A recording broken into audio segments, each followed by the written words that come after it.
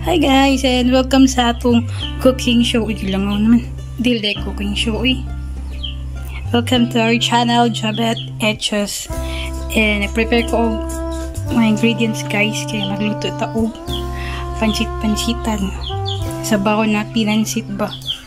Oh, unsa ba na pansit nga na ice sabaw for our lunch. Nagilangaw naman guys. Uy, tungod sa karne ba? So, natay gamay nga sa hog baboy hindi andam na sa nakutaan ang um, mga lamas. Natay ako, sibuyas and sibuyas dahunan carrots, gurot na na ako ang carrots kay mataot na niya.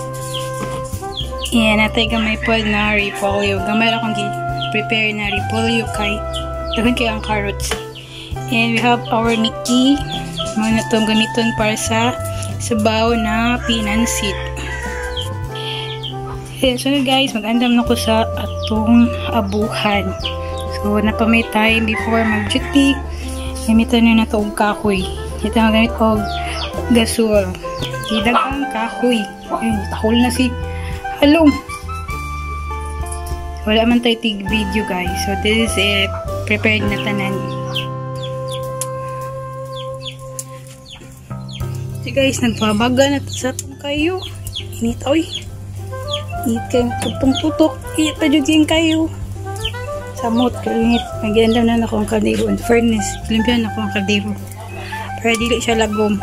Ikaw man na sa dani kaluto, lagom na pwede. Ito na nang itak ang guys. Ang kaldero. Kay atong gisahan usa. Gisa na to ang mga langas.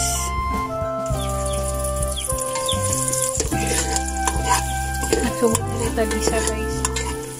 Yun na ako ang kumbay. Okay, dali. Dali niya siya dali masunod compare sa akos. Maya ko na-learn sa cooking skills ni Doreen. Shout out ni Doreen.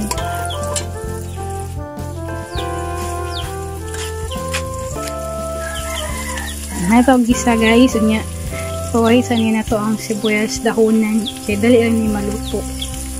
Sunod na to ang karne. So, karne na ito guys. Ang para sa na ito.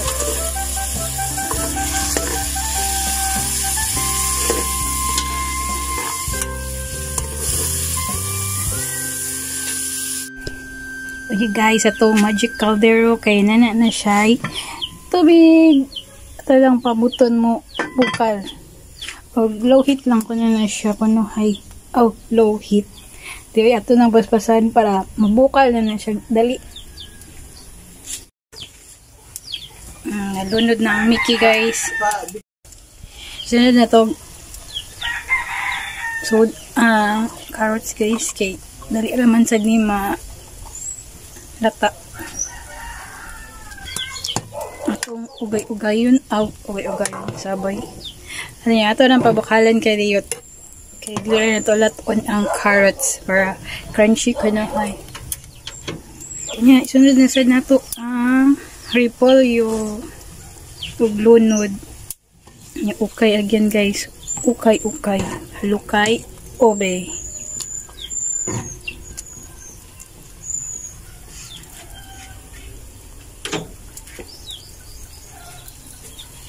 Not the least kay ang spring onions. Outer spring onions.